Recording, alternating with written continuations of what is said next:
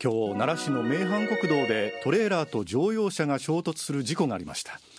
事故の影響で名阪国道下り線は一部区間でおよそ4時間にわたり通行止めとなりました。警察によりますと今日名阪国道の大阪方面行き五ヶ谷インターチェンジ付近でトレーラーがガードレールに接触して横転し乗用車と衝突する事故がありました。衝突された乗用車は大破しましたが乗っていた高齢の男女は命に別状はないということです。この事故の影響で名阪国道の下り線は福住インターチェンジから五ヶ谷インターチェンジの間で通行止めとなっていましたが午後3時50分に解除となりました。警察は事故の原因や詳しい状況などを調べています。